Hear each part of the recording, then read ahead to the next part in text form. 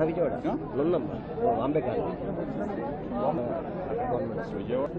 ఈరోజు twenty second అండి twenty third ఇది ట్వంటీ ఎత్ అని జరుగుతుంది కాదు జరిగింది ఎప్పుడండి నైన్టీన్త్ ఇప్పుడు వెళ్ళిపోయింది వెళ్ళిపోయిందిలే కదా ఇరవై జరిగింది ఈరోజు జరిగింది ఇరవై ఒకటిన మనం చేసింది ట్వంటీ ఎత్ ఓకే మనం అరెస్ట్ అరెస్ట్ చూపించింది three three hours twenty eighth evening by six o'clock సంఘటన ఆ ప్రభుత్వ ఆసుపత్రికి వచ్చారు. అంత దౌర్భాగ్య స్థితిలో మీరు ఉన్నారు దట్ మీరు ఈ ఆంధ్రప్రదేశ్ రాష్ట్రానికి హోంమంత్రి వర్యులు.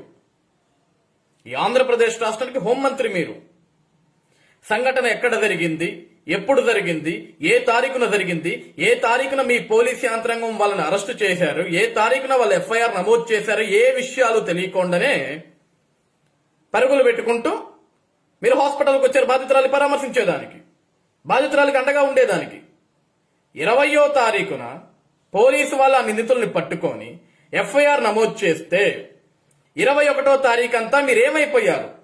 ఎందుకు మీరు గాని మీ ముఖ్యమంత్రి గారు గాని మీ మహిళా కమిషన్ చైర్పర్సన్ గాని మీ మంత్రులు గాని మీ ఎమ్మెల్యేలు గాని మీ అధికారులు గాని ఎందుకు ఆ బాధితురాల్ని పరామర్శించేదానికి హాస్పిటల్కి రాలేదు? సమాధానం ఉందా దీనికి మీ దగ్గర? చంద్రబాబు నాయుడు గారిని విమర్శించేదానికి చంద్రబాబు నాయుడు గారిని కించపరిచేదానికి మాత్రం ముందు వరుసలో నుంచి ఉంటారు అందరూ క్యూ కట్టుకొని. నిన్న ఇరవై రెండవ తారీఖున తెలుగుదేశం పార్టీ జాతీయ అధ్యక్షులు నారా చంద్రబాబు నాయుడు గారు ఆ బాధితురాల్ని పరామర్శించేదానికి ఆ బాధితురాలి కుటుంబానికి ధైర్యం చెప్పేదానికి వాళ్ళకి అండగా నిలబడేదానికి ఆ హాస్పిటల్కి వెళ్తున్నారన్న సంఘటన తెలుసుకొని అప్పటికప్పుడు పరుగులు పెట్టుకుంటూ వచ్చింది. మీ మహిళా కమిషన్ చైర్పర్సన్ వాసిరెడ్డి పద్మా గారు.